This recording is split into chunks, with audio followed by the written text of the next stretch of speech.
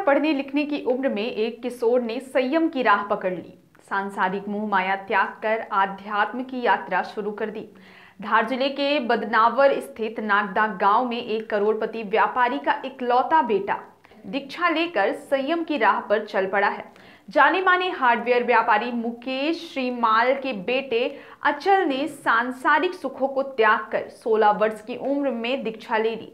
अब से वे जैन मुनि हो गए हैं। नागदा में रविवार को दीक्षा महोत्सव का आयोजन हुआ। गुरुदेव उमेश मुनि जी के शिष्य प्रवर्तक जितेंद्र मुनि ने अचल की दीक्षा दिलाई। इस दौरान दीक्षार्थी की जय जयकार के जय घोष गूंजते रहे। दीक्षा महोत्सव के चलते नगर में गुरु भक्तों की चहल पहल रही। यहाँ बड़ी संख्या में समाज जनों ने उपस्थिति दर्ज कराई। नगर में जगह जगह दीक्षार्थी की अनुमोदना में बैरागी को वंदन के बैनर लगे नज़र आए।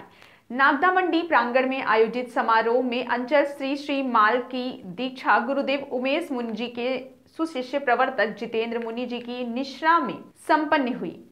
इसके पहले निज निवास से दीक्षार्थी की महाभिनिष्क्रमण यात्रा निकाली गई। अचल का जन्म 21 जून 2006 को नागदा गाँव में संपन्न हुआ। श्री श्री माल परिवार में हुआ था। अचल के पिता मुकेश श्री श्री माल की गिनती बड़े कारोबारियों में होती है।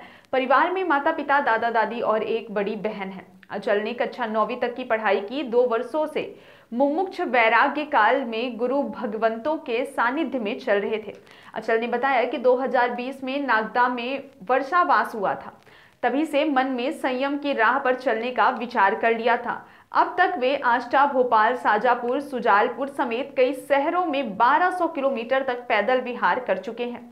मालवा महासंघ के कार्यवाहक अध्यक्ष संतोष मेहता राजेंद्र बोकड़िया, सुनील चौधरी व तेज सुराना ने बताया कि नागदा में सबसे कम उम्र की दीक्षा हुई है। 1980 में नागदा की बेटी साध्वी मधुमशा की दीक्षा हुई थी।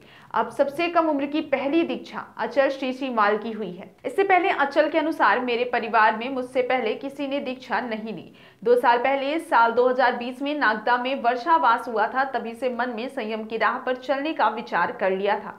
संत मुनि जी महाराज के साथ विहार कर लिया और इसमें जो क्रिया होती है, वो पूरी कर चुका हूँ। जैसे बिना पंखे रहना, पैदल चलना, इसका पालन डेढ़ साल से कर रहा हूँ, इसलिए मुझे दीक्षा लेने की अनुमति मिल गई है। सर्व सुविधा युक्त नेशनल हॉस्पिटल समान तिराहा रीवा में। अब कैंसर का सफल उपचार और ऑपरेशन की सुविधा उपलब्ध है। हमारे यहाँ मिल रहा है आयुष्मान भारत निरामय योजना का लाभ। आयुष्मान जन आरोग्य योजना के तहत सभी प्रकार के मेडिक्लेम की सुविधा उपलब्ध है। हमारे यहाँ लेजर कैंसर, अस्थि रोग एंडोस्कोपी, लेप्रोस्कोपी एवं प्रसूति रोग का अनुभवी चिकित्सकों के द्वारा उपचार किया जाता है।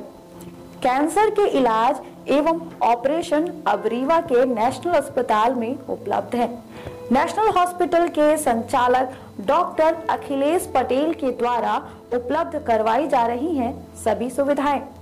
आयुष्मान से संबंधित किसी भी प्रकार की जानकारी के लिए संपर्क करें।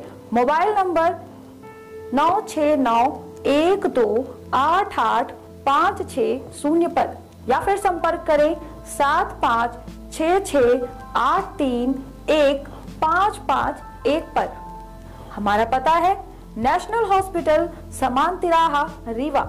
संपर्क करें शून्य सात छ छ दो तीन पाँच नौ नौ सात चार पर, या फिर संपर्क करें आठ छ शून्य दो आठ आठ पाँच नौ नौ शून्य पर।